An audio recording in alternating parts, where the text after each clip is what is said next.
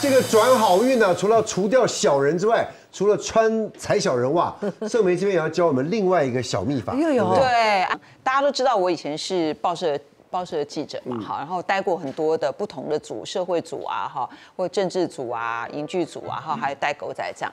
啊，我其中有一个组，当时呢，我的主管啊，哈，因为我这个人就是做什么事都很拼命，然后我这个人做什么事就是以新闻为主，所以我我是一个不太会去。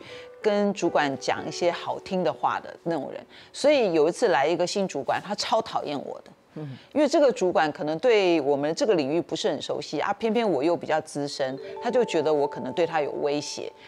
其实我的遭遇跟很多在上班的人很像，对。啊，有时候你在办公室，你努力做事，你就会疏忽做人，那你没有做人的时候呢，你就会被整。对，然后当你被整的时候呢，就觉得很痛苦。为什么？因为你会发现那些不做事、只做人的那些呃同事过得比你好。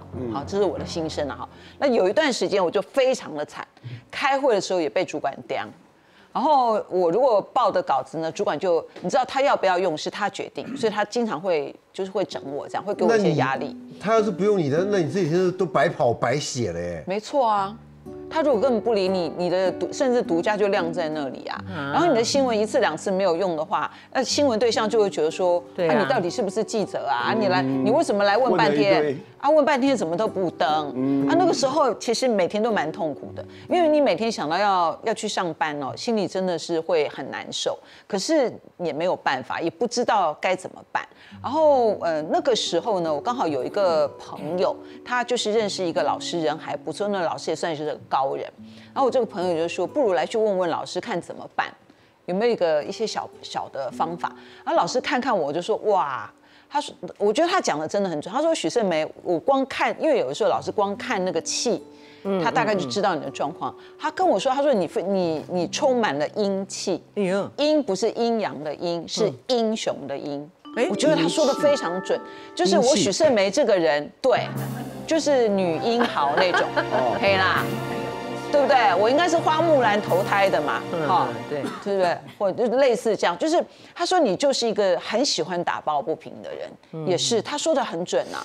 但是你就是会有很多小人，然后这种小人还包括你的主管会卡住你，你知道被卡住的感觉很痛苦。嗯那我就问他说：“那怎么办？我要换工作吗？”因为我有一段时间一度考虑我想离开那个公司了。嗯他就跟我讲说有一个小秘法。哦，这个小秘法呢，你就试试看，因为其实我们中国的老祖宗中几千年以来都有一些什么道家啊或茅山呐、这种道术，但是这个很简单。哦，不用要怎样。他说你就去买，因为现在有那种多肉植物，大家知道吗？对对对对那老师告诉我的意思是说，你要去买仙人掌。哦我们一般办公室都会放幸运珠，嗯，有没有这样哈？那个是升官发财。他说你不要放那个，那个跟你的命格都不合，好，你就要放一个仙人掌，然后这个仙人掌刺要很多这样子，好，然后就压在你的，就放在你的这个办公桌上，再来，最好是拿一张那个一直卡住你的主管他的名片对压在那好个。好好好，镇住哇，他这。被发现怎么？这被被发现不好意思呢。你怎么你你为什么会被发现？那个就是啊那个多肉植物大概这么大啊，然后你那个名片压下去小，感觉就是只是撑住那一盆盆栽的啊。谁知道你们办公室放了那么多盆栽，底下都一堆名片，是不是？是不是？真的，真的。然后我那时候就想说，惨了，哎呦你这样讲出去以后，主管都会去翻那些仙人掌。就翻翻你看吓我，啊。你走。然后我那个时候就觉得说，好像也有点道理。他说，其实办公室的风水跟你在这个办公室的磁场是有关系的，所以难怪有些人就是一路升官，有些人就运很差，甚至不干你的事的衰都衰到你。有很多时候就这样。然后我那个时候我我就真的相信，但是很麻烦是不知道该怎么拿长官的名片。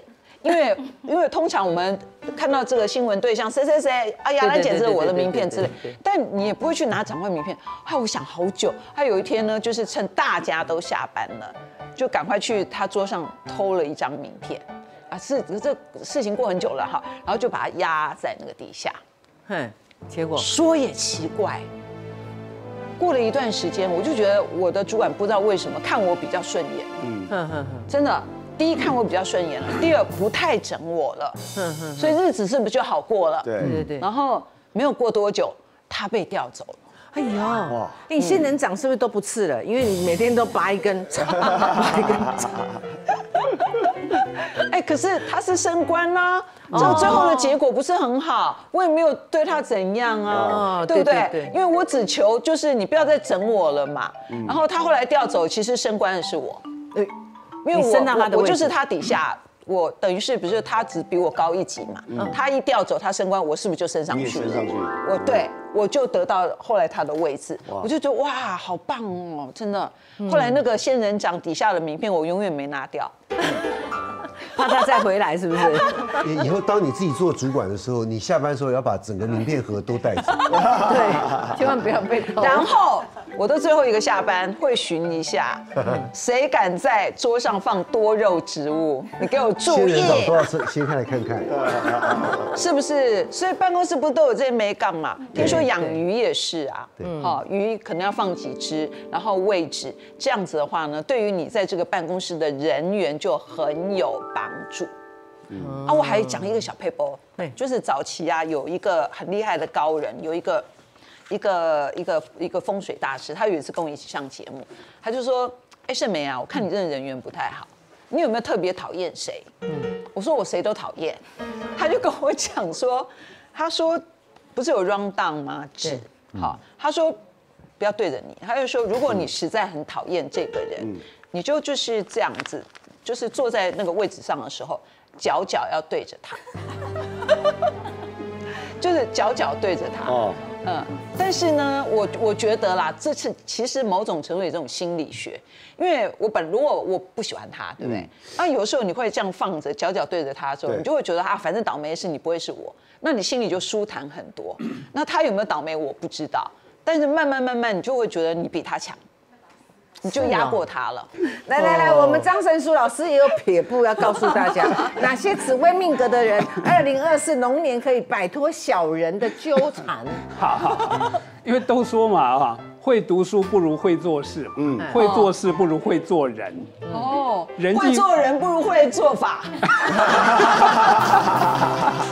不错不错，是吧？对，所以我们都知道，其实人际关系真的是全世界最难，因为我们要知道，小人比君子要多十倍啊，嗯，对不对？是哦啊，这世界上当然是小人多，君子少嘛。啊，为什么啊？因为竞争嘛，竞争无处不在啊，对不对？尤其你刚刚讲主管位置只有一个啊，下面有这么多人嘛。啊那我们来看二零二四年，从命宫的角度来看啊，好，哎，我们一个今天命宫一个是紫薇，一个是天府哈哎，呦，嗯，帝王跟王爷都来了，你看对吧？哎，好，来我们来看一下，第一个是七煞，七煞没有，其实圣梅也算了，因为圣梅对宫就是七煞，七煞。对不对？啊所以你刚刚讲你有阴气嘛，对啊，所以英雄的英哦，所以七煞的男生有杀气嘛，所以为什么要称为七煞？哦你刚刚讲，哎，打抱不平，横眉冷对千夫指啊，哎，一千个人指着你，你都不怕了，那你看一千个小人厉不厉害？厉害啊！所以七煞的小人一定是最多的，这个是避免不了的。可是就像我们在讲的，哎，如果我们现在能力还不够的时候，做一些法，用一些方式，对吧？但是当我们知道了七煞，哎，明年怎么办？把自己变得柔软一点，不要那么坚硬。嗯，哎，我记得最近周楚除伤害不是在演吗？对阮经天他在讲，哎，他有一句话讲得很好，哎，他说他以前哈、什么都有，就是没有他的性。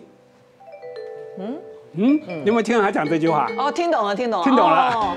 阮经天啊，他姓他姓阮嘛，嗯，所以他说他脾气很硬嘛，他不不够软，哦哦，什么都有，没有他的就没有他的姓。对对对，哦，哎，你看这句话讲得很好，可他到大陆这么长时间回来，他现在学会柔软了。嗯，哎，周处除伤害不是变成他跟那个制作人就和好拍了这部片吗？嗯，所以我们可以想象，七煞再强悍，往往在斗争之中不一定永远是赢家。为什么？因为小人都是暗箭伤人的。对，但是当变柔软了，小人其实自然就会变少了。所以，二零二四年的七煞，当你懂得柔软，你自然而然小人就会变少。嗯啊，不过通常年纪到了也知道怎么变柔软，可是年轻时候的七煞就不容易了，对不对？嗯但是二零二四年七煞，记住这句话了啊。好，再来。巨门星，哎，命宫有巨门星，没有？巨门我都一直说这颗星啊叫什么哈？觉得自己很有才，嗯。哎，那这样算吗？他不算啦，他不算。啊，它紫微的，他怎么会是巨门呢？他底下有一个。哎，哎，拜托，对对宫哎对宫，它对宫是贪狼哎，哦，你一定要斜对过去，我也无所谓了，不反对。但巨门是什么？恃才傲物。哦，就容易什么？自己觉得很有才嘛，嗯有才是不是对别人就会觉得说，哎，不如我啊？哦，可是，一旦有这样的想法的时候，比如说啦，很有才的唐伯虎好了，哦，唐伯虎多有才啊！对，他当年考的是全省的第一名哦，嗯，解元。